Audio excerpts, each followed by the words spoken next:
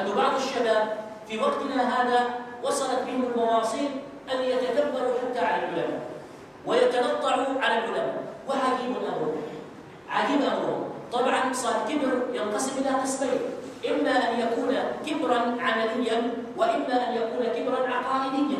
الكبر العقائدي ذكرناه في باب العقيدة والكبر العملي الآن نذكره يتكبر على العلماء. تعلم شوية قليل تعلم شوية قليل. بقى ماله عاد يواجه العلماء وكبار العلماء ومو تحت مظلة ماذا؟ تحت مظلة عدم تقديس العلماء. لا تقدس العلماء لا تأخذ آراءهم وإحنا كنا مجتهدين. من هذا سماحة الشيخ حتى يقولنا كذا كذا. لا بد من عقولنا أنتم ما فيكم عقول؟ كل شيء يقولكم لا تتبعون. وإذا جئنا إلى أحوالهم نجد أنهم أكثر تقديسا لمن يقدسونه في آرائهم وأفكارهم. مرة من المرات أحد الأشخاص قرأت له في إحدى المواقع يقول لا تقدسوا الشيخ أحمد الخليلي ولا تقول له العلامة ولماذا هذه المبالغة؟ وأنتم تبالغون وهذا بشر مثل مثلكم يأكل مثل ما تأكلون ويشرب مثل ما, ما تشربون. في المقابل بعدين جاء لنا مشهور آخر وقد قال العلامة الكبير اللي هو هذا العلامة الكبير القرآن تقول العلامة عن تقدسوه وهي العلامة الكبير فرد عليه رد قال أنتم تدعون إلى عدم التقديس. هذا ما تقديس؟ هذا ما تقديس الناس تتقدس قدسته هناك عن تقول العالم وهل يقول للعالم. اللي عن تقول الفقيه اللي يقول الفقيه. وين أعداء الله مصدر؟ عقلاني مثلهم. فمصائب قوم عند قوم فوائد ما لكم كيف تحكمون؟ ألا ساء ما تحكمون؟ وأنا أرى من وجهة نظري أن هذا الإشكال وهذا الانحراف الفكري الذي حصل عند الشباب هو بأنفسنا نحن وحتى أحيانا من العلماء أنفسهم كيف ذلك؟ شخص لا ترفع فوق منزلته والخاصة ماله؟ بخاصة إذا كان أولاد تو أولاد تو ما تقول الشيخ ومثلا صاحب الحنجرة الذهبية وإلى آخره لا قل باسمه الأخ فلان الأخ فلان زين آه مثلا آه إذا كنت بينه آه وبينك نفس الطريقة حتى بينك وبينه ماشي شيخ. تو طالع الدنيا. بعد القوة النيدو أكبر عنه وعالي قال الشيخ وأنا حتى أرى في بعض المواقع أولاد صغار. أولاد صغار. الشيخ الداعي ما هذا؟ ما هذا؟ بالمتى هذا؟ ثاني حاجة تعرفوني. تعرفون سرايا. حتى يصل إلى هذه المنزلة. بعدين كيف تعلم هذا؟ مع من الفقهاء مع من العلماء تعلم وكنا نسمع كذلك ابو مسلم الصغير وابو مسلم الصغير الان رجل الخمر راع هذا الامر سماه النحنون نحن الذين اوصلناهم إلى درجه الكبر إلى درجه الكبر نحن الذين اوصلناهم وبايدينا ونستطيع لا طيب قدره هذا قدره قدره والله ما زال صغيرا نعم أنا اشجعه لكن بطريقه أخرى اشجعنا على حفظ القرآن آه زر العلماء لكن بطريقة أخرى بطريقة تجعله لا يتكبر لا يشد لا ينحرف. ولهذا معظم هؤلاء الأشخاص الذين رفعوه فوق منزلتهم بعد ذلك انحرفوا. انحرفوا والعياذ بالله بل أنه انحراف غالب وانحراف عظيم جدا.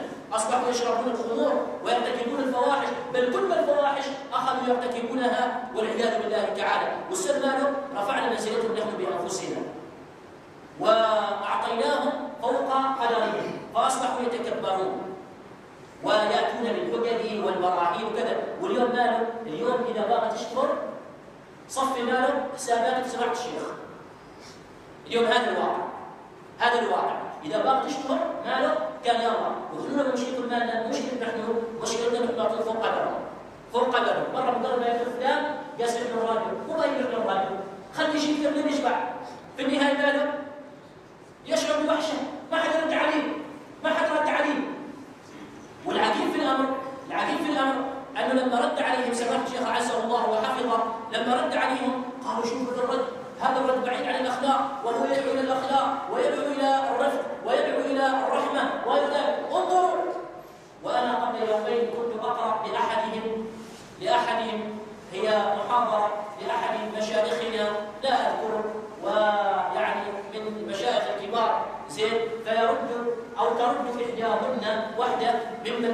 بهم تقول أصبح أتقزز من المطاوعة أتقزز.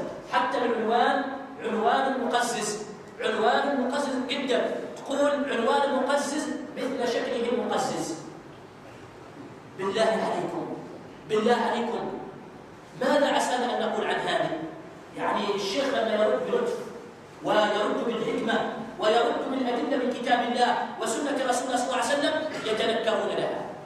يتنكرون. ويقولون على أن الشيخ ما عنده آداب الحوار. هم الآن ما ما وصل بهم إلى هذا. بل أنهم آه، يستهزئون ويستفزون حتى بخلق الله عز وجل. وما أكثر أولئك الآن يدخلوا معاهم. ليش؟ ليش يدخلوا معاهم؟ يدخلوا معاهم يا أخي هذه دخلنا في فتنة وهذه الجيش البصيرة في فتنة وأصبح الغزالات بالشملة إحنا نفوت عمارنا إيش الكلام؟ وعاد باي ماله؟ باي مخرج وملاقين باي مخرج ملاقين ولهذا هم قالوا قالوا على أن ماشي سنة أنكروا السنة ولا قالوا على أن مسألة تشريع القرآن وحده ما السنة؟ وأحدهم قرأت له كلاما فاحشا حيث قال في مقال آه، نشر في جريدة عمان آنذاك قال الرسول صلى الله عليه وسلم ما هو إلا رجل متبع ومنفذ لأوامر ربه بس هذا. بس يتلقى التعليمات يتلقى الأوامر من الله سبحانه وتعالى لا أكثر ولا أقل. يعني حتى يطعنون في النبي صلى الله عليه وسلم. وقالوا على ماشي معجزات وماشي كرامات وماشي وماشي وأتوا بما تقشعر منه الجلود والأبدان. أتوا.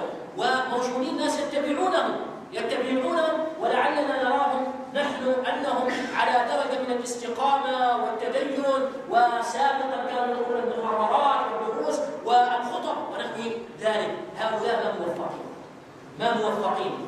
هؤلاء أراد الله سبحانه وتعالى أن يخرجوا من دائرة الخير إلى دائرة الشر. وأنا أقول من هنا أقول من هنا أن كل من يكابر العلماء حكم على نفسه بالحكم. مباشرة. ولهذا هؤلاء الذين كنا نسمع عنهم وبلغوا الدنيا ضجيجا محاضرات دروس بينهم الآن. هدموا أنفسهم بأيديهم. بأيديهم لحوم العلماء مسمومة. مسمومة أنا أذكر قصة لأحد الأشخاص دخل على أهلي وهم يتابعون سؤال أهل الذكر. وكان في تلك الحلقة العلامة سعيد بن القنوني فدخل هو وقال بلهجته الدارجة قال دوكم دوكم جالسين يتابعوا وراسهم متفخ استهزاء واستفزازا لكن ما صبح عليه الصباح ما صبح عليه الصباح وانتفخ راسه. انتفخ راسه مباشرة إلى العناية الفائقة وبعد العناية الفائقة إلى القبر. دخول العلماء مسمومة هؤلاء ما يتقون الله؟ من الدعوات المستجابة دعاء العلماء. هل ما فيهم عقول؟ لو كان فعلا فيهم عقول كما يدعون أنهم عقلانيون كما يقولون لا. انزووا جانبا عن مجاهرة العلماء والتكبر على العلماء والتعالي على العلماء. ثانيا ماذا قدم هؤلاء؟ ماذا قدم هؤلاء؟ ما قدموا شيء؟ مقارنة بما يقدمه علماؤنا وعلى رأسهم سماحة الشيخ العلامة أحمد بن حمد الخليلي من دعا الله بحياته بحياته. الآن كم هو في الإفتاء؟ يتحمل آلام أمة بأسرها مرة من المرات. ذهب لزيارته أحد الأشخاص فالشيخ يسأله يسأله أو أنه يقول الشيخ يقول الشيخ معاصي الشيخ ذنوب الشيخ فجور أكان لا أطيق قال الشيخ ظلمت بالساعة واحدة هنا بدلا عني بدلا بس تجلس يقول فكيف بي أنا صار لي في هذا المكان أربعين سنة؟ وقبله قبل الإفتاء كان في القضاء وتولى مناصب مشاكل قضايا من سنة سبعين أربعة وأربعين سنة. إذا هذا الآن حقه. يأتي هؤلاء إن هم تلاميذ ويتعالون على العلماء ويتكبرون ويتكبرون على العلماء ماذا عندهم؟ إذا هنا نشير إلى نقطة أن هؤلاء لا ينظر إليهم كذلك ما يحاول أو بعض الناس ماله يحاول لما يلقاهم في مجلس تفضل الشيخ تفضل الشيخ ما يعطى له قدر. ما يعطى له قدر. أي أي واحد يتهكم على علمائنا لا يعطى قدر. ينزل المنزلة التي أرادها هو بنفسه. هذا هو الأصل. يخلى مكانه. حال من حال الناس.